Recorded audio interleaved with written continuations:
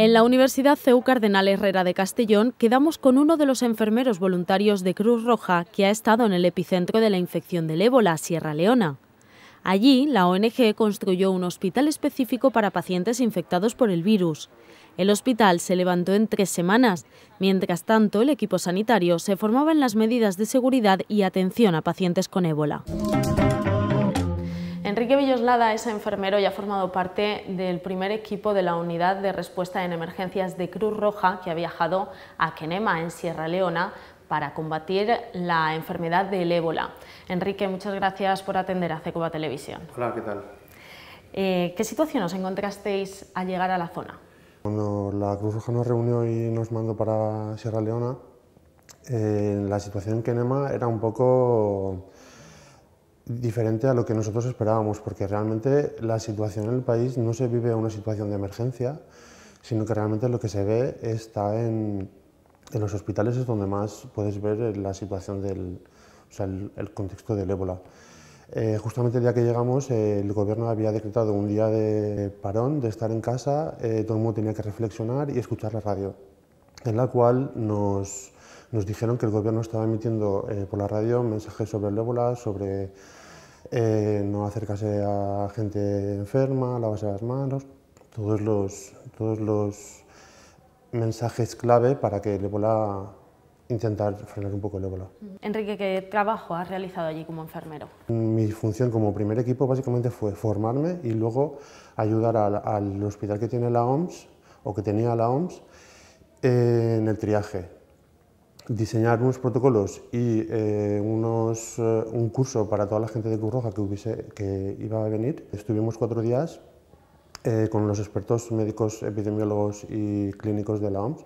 Nos enseñaron todo sobre el ébola, nos enseñaron sobre enfermedades hemorrágicas y enfermedades endémicas del país, para que pudiéramos a la hora de hacer el triaje poder diferenciar si es ébola, aunque la única forma de diferenciación es mediante una analítica de sangre una prueba diagnóstica se llama PCR, pero eh, según los síntomas intentar poder descartar mejor a los pacientes. ¿Hay o crees que había necesidad de formar tanto a los profesionales de la zona como a la propia población en el tema del ébola? Una de las eh, características que tiene Sierra Leona o África en general es que mm, la formación es muy muy básica, entonces eh, la gente se contagia, o sea, el índice de contagio es tan alto porque no saben cómo se transmite la enfermedad y el conocimiento general es bastante es mínimo. Además, su cultura eh, hace que todavía se transmita mucho más porque, por ejemplo, en los ritos funerales, ellos abrazan a los muertos, los lavan, les acarician y luego se tocan a ellos mismos, con lo cual justamente el muerto es la persona que más contagiado está porque el virus ha ganado al sistema inmune entonces ellos se contagian directamente. Quique, ¿cuánto tiempo llevas como voluntario de Cruz Roja y en qué otras actuaciones has participado?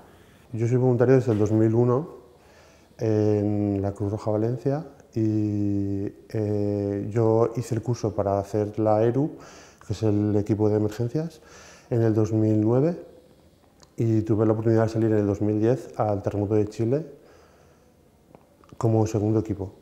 Estás estudiando actualmente medicina en la Universidad CEU Cardenal Herrera en Castellón. ¿Crees que el conocimiento en ambas disciplinas, enfermería y medicina, te aporta más en tu trabajo diario y también en tu labor como cooperante?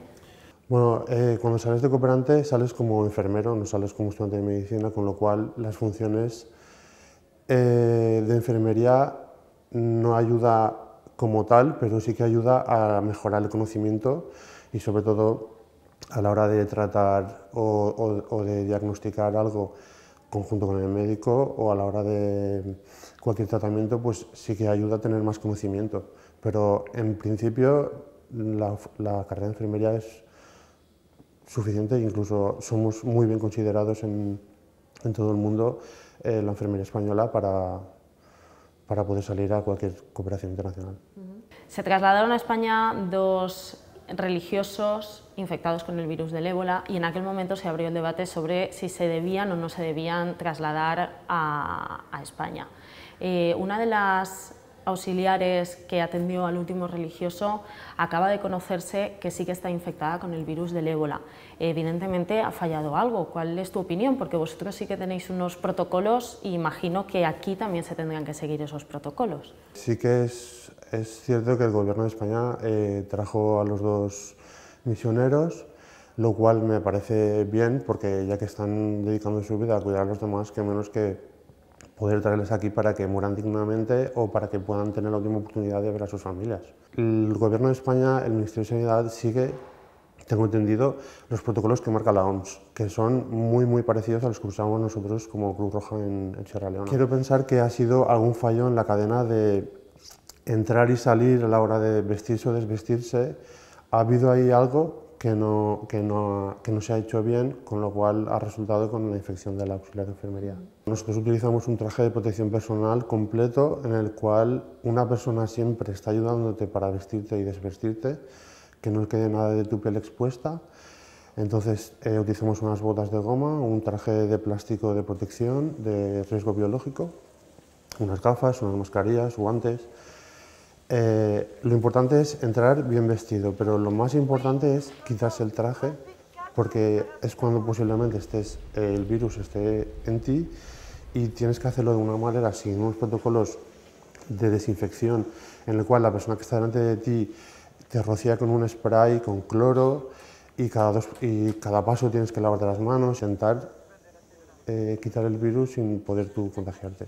Cuando volviste a España, ¿tuviste que pasar por algún tipo de examen, de protocolo de prevención, etcétera? Sí, bueno, como el virus eh, no es transmisible si no hay síntomas y además tampoco es detectable en una analítica de sangre si no hay síntomas porque la carga viral es muy mínima, cuando llegamos, el, el, gobierno y la Cruz Roja nos obligó a que durante 21 días, que es el periodo de cuarentena, estuviéramos tomándonos la temperatura dos veces al día y del Centro de Coordinación de Madrid nos llamaban dos veces al día para preguntarnos la temperatura. En caso que nosotros sintiéramos algún síntoma, deberíamos de llamar y se activaría el, protocolo de actuación de cada comunidad, dependiendo de quién fuera. Básicamente es tomar la temperatura y controlar que esté dentro de los límites, que no supere siempre el 37,5 que nos marcó la Cruz Roja, aunque el gobierno dictamina que es 38,3. ¿Pero tenéis que ir al hospital a haceros algún tipo de análisis? No, no, porque es que si no hay síntomas, el virus quiere decir que no es todavía elevado en sangre, con lo cual saldría negativo seguro. ¿Quique, volverías a Sierra Leona o a alguna otra zona que esté afectada por la enfermedad? Pues sin duda con Cruz Roja sí que volvería. De hecho, si tuviese tiempo después de exámenes como para poder irme un mes a Sierra Leona, sí que iría. ¿Y con qué te quedas de esta experiencia? Eh, nunca había estado en una situación de epidemia, eh, con lo cual todo era nuevo para mí. He aprendido profesionalmente porque hemos tenido un equipo eh, interdisciplinar de todo el mundo, gente de Nueva Zelanda, Inglaterra, Noruega, bueno, de todo el mundo, en Cruz Roja. Y de forma personal me quedo con el poder ayudar a la gente que está sufriendo mucho y aunque el ébola es lo más mediático ahora mente, es solo la punta del iceberg. En África están ocurriendo muchas cosas y todos deberíamos de ayudar un poquito. Quique Villoslada, enfermero, muchas gracias por haber atendido a Cecoba Televisión. A ti. Con esta entrevista hemos intentado aclarar un poco más todo lo relacionado con el virus del ébola. Gracias a este enfermero que ha formado parte del primer equipo español de la Unidad de Respuesta de Emergencias de Cruz Roja que ha viajado a Sierra Leona.